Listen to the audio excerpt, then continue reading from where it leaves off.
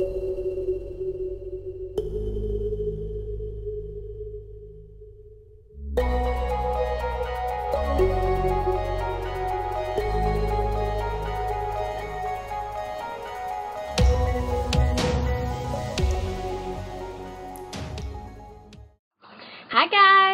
Yamada. Thank you so much for tuning in to Enjoyable Inspiration. Um, today I'm going to show you a Day of the Dead makeup tutorial. I really hope you like it. I put a lot of work into it. And I love you guys. I'm starting out with a clean and moisturized face.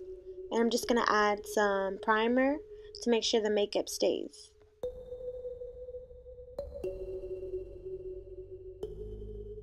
Trace the hollows of your eyes with an eyeliner these do not have to be perfect, they're just an outline, so if you do mess up, don't freak out, it's okay. Use a tacky substance, like a glue stick, to smooth your eyebrows down so they can easily be painted over. Fill in your outline with the light blue color as a base.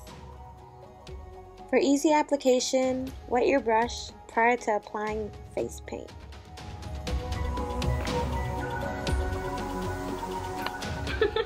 Cover the lid of your eyes with black face paint all the way up to your brow bone. Set this with the black eyeshadow to take away some of the shine. Blend the edges of the outline together.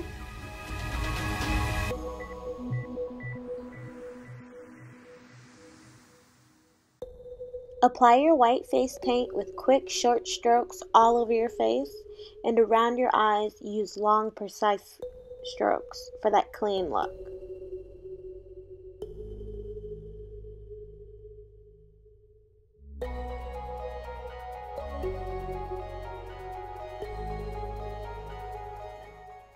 Try not to have so many layers because we don't want to kick up your face.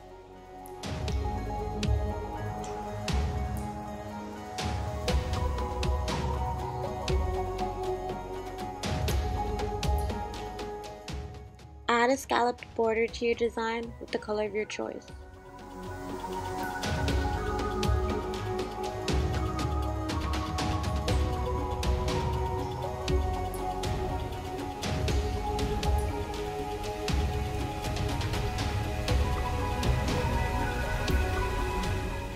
I'm using e.l.f. liquid eyeliner to outline my border.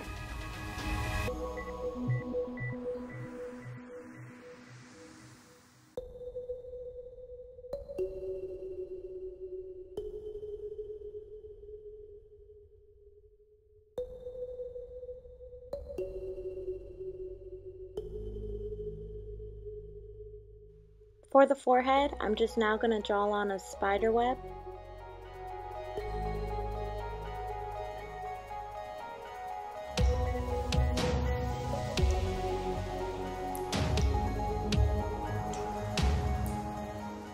I'm using e.l.f. liquid eyeliner to line the web to give it a shadow effect.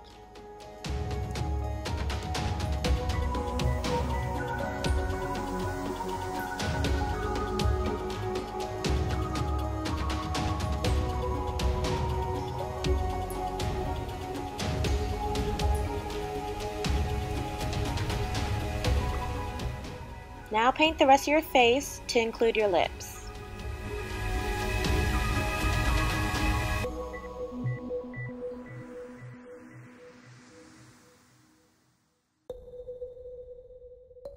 I'm touching up my blue face paint with some blue eyeshadow just to take away some more of the shine.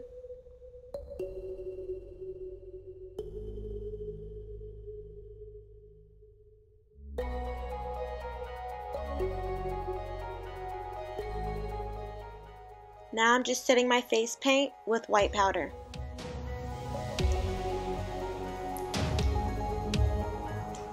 Now, to create the appearance of a skeleton nose, I'm kind of just making the shape of a teardrop but with two points.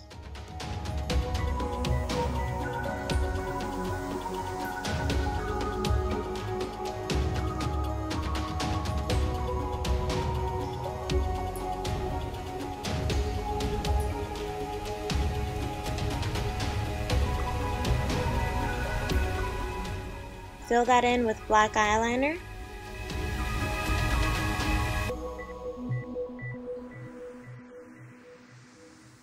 To create some depth, we're going to go over it with some black face paint and black eyeshadow.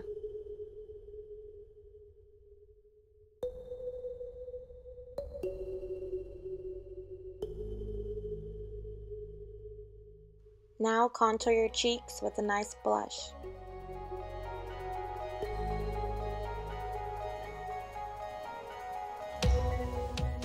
To give the illusion of teeth, I'm drawing short vertical lines on my lips.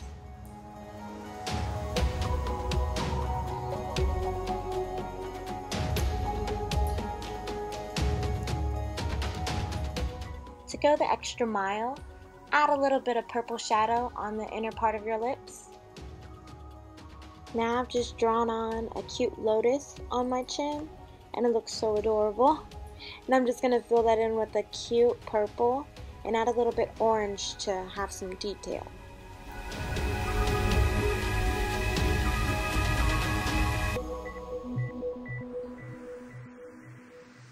I've added swirls as a finishing touch to my skeleton mouth. I'm adding blue glitter to really make my eyes pop. For the final touch, I've added a beautiful flower headband. So this is the final product, guys. I really hope you love this look. I had so much fun videotaping it for you. Comment below and let me know how you liked it. Don't forget to like and subscribe.